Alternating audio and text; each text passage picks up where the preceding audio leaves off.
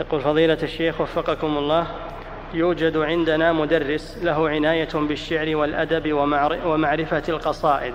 يقول في أحد دروسه عن مؤمن آل فرعون إنه نبي من الأنبياء أرسل إليهم. فما صحة هذا الكلام؟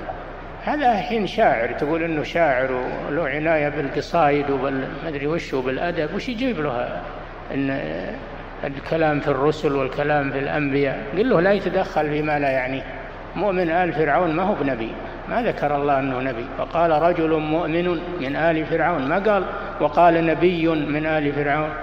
يا سبحان الله. في عجائب عند الناس. نعم.